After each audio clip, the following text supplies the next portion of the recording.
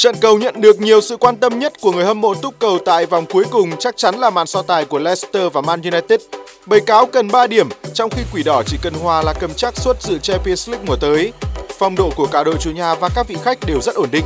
Chỉ tính trên sân nhà, Leicester đã thắng 3 hòa 1 và không thủng lưới trong 4 trận gần nhất, còn Man United cũng toàn thắng và trắng lưới trong 3 chuyến làm khách gần đây. Nhưng nói về lực lượng, hàng thủ sức mẻ chắc chắn là nỗi lo lớn nhất của Brendan Rodgers. Soyun Chu, Chilwell và Ricardo vắng mặt vì treo giò và chấn thương, trong khi Madison cũng không thể ra sân kể từ đầu tháng 7. Bên phía United, Luke Shaw được kỳ vọng sẽ trở lại bên hành lang trái, nhưng vấn đề thể lực sẽ là điều khiến các cổ động viên quỷ đỏ ái ngại. Những dấu hiệu sa sút đã thể hiện rõ trong những bước chạy của các cầu thủ áo đỏ trong trận hòa với West Ham và khi số ngày nghỉ của họ ít hơn Leicester 3 ngày, Ole Solskjaer sẽ phải tìm ra đấu pháp hợp lý trong trận cầu quyết định của mùa giải. Giống như Man United, Chelsea cũng chỉ cần hòa là chắc chắn góp mặt ở Champions League mùa tới. Những gì mà thầy trò Frank Park cần làm là quên đi thất bại trước Liverpool và tự tin thể hiện trước bầy sói như những gì họ đã làm trong trận lượt đi ngay ở Molineux.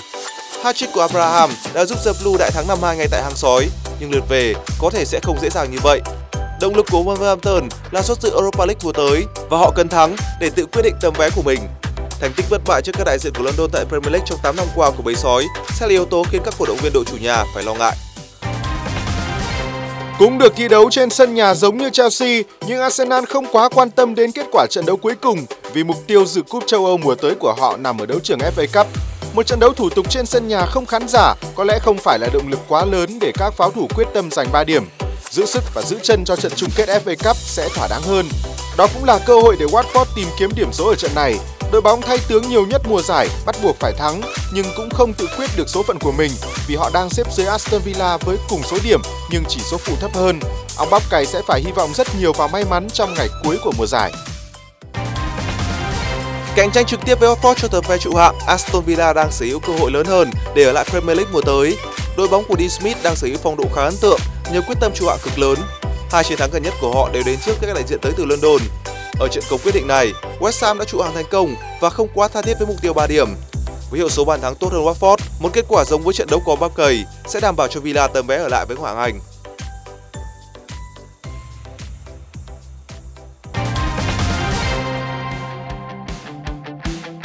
Cảnh sát thành phố Liverpool đã bắt giữ 9 cổ động viên khi họ ăn mừng trước vô địch của câu lạc bộ thành phố Cảng.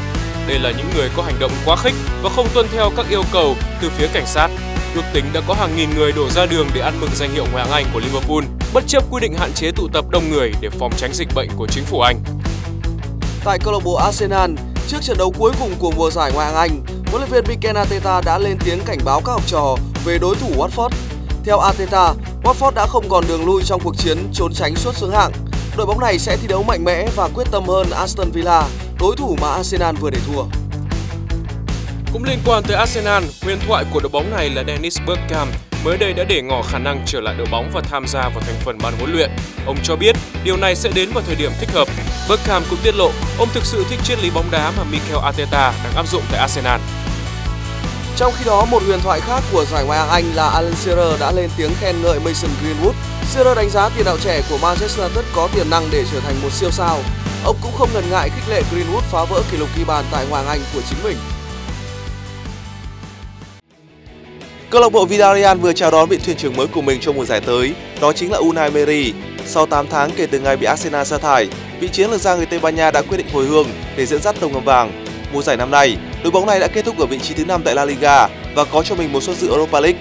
Kinh nghiệm và tài năng của Unai Emery ở đấu trường này sẽ là điều rất có ích cho Villarreal. Ông từng cùng Sevilla vô địch giải đấu 3 năm liên tiếp và cũng giúp cho Arsenal góp mặt ở trận chung kết năm ngoái. Hợp đồng của Emery với câu lạc bộ sẽ kéo dài trong 3 năm. Ngôi sao của Bayern Munich Leroy Sané đã vô tình xác nhận bến đỗ mới của người đồng đội tại tuyển Đức Kai Havertz trong cuộc họp báo tối 23 tháng 7. Anh cho biết Chelsea đã làm rất tốt trong khâu chuyển nhượng khi mang về hai tuyển thủ hàng đầu của Đức là Werner và Havertz. Trước đó, nhiều nguồn tin uy tín đã khẳng định Chelsea đang một mình một đường trong cuộc đua giành Havertz từ Leverkusen. Tiền vệ trẻ người Đức được định giá lên đến 90 triệu bảng và Chelsea là câu lạc bộ duy nhất có thể đáp ứng mức giá này. Bên cạnh việc bổ sung hàng công, Chelsea cũng đang theo sát trung vệ Jose Gimenez của Atletico Madrid. Huấn luyện viên Frank Lampard tin tưởng cầu thủ người Uruguay sẽ có thể giúp cho The Blue cải thiện màn trình diễn tương đối thất vọng của các hậu vệ. Mùa này, Jose Gimenez đã có 26 lần ra sân cho Atletico Madrid, Giao cản duy nhất đối với Chelsea chính là mức phí phá vỡ hợp đồng lên tới 109 triệu euro của cầu thủ năm nay 25 tuổi. Bên cạnh Jose Gimenez, Chelsea cũng hy vọng sẽ có được chữ ký của thủ thành Oblak.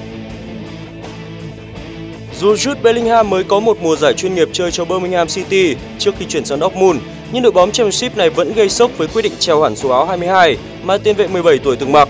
Đây là hành động để cổ vũ tinh thần các cầu thủ trẻ, giúp họ tiếp tục nỗ lực để có thể có được thành công như cầu thủ người Anh.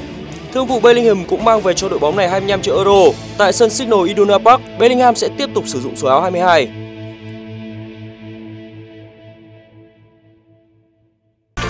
Cổng có trên mọi hạ tầng và ứng dụng di động. Các cổng, giải trí và hơn thế nữa.